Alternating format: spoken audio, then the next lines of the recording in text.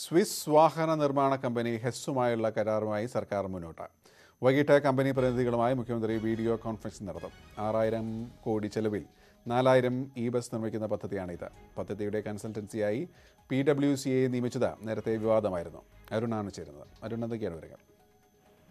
ഗോപി വിമർശനങ്ങൾ വകവയ്ക്കാതെ E mobility പദ്ധതിയുമായി മുന്നോട്ട് പോകാനാണ് സർക്കാർ തീരുമാനം. ഇ മൊബിലിറ്റി പദ്ധതിക്ക് വേണ്ടി സ്വിറ്റ്സർലൻഡ് കമ്പനിയുമായ ഹെസ്സുമായി ജോയിന്റ് വെഞ്ചർ കമ്പനി രൂപീകരിക്കാൻ സർക്കാർ നടപടികൾ ഊർജിതമാക്കുകയാണ് കമ്പനി രൂപീകരണത്തിനായി കേരള ഓട്ടോമൊബൈൽസ് ലിമിറ്റഡിന്റെയും കെ എസ് ആർ ടി സിയുടെയും സംയുക്ത യോഗം ഇന്ന് വൈകിട്ട് നാലരയ്ക്ക് മുഖ്യമന്ത്രി പിണറായി വിജയന്റെ അധ്യക്ഷതയിൽ ചേരും.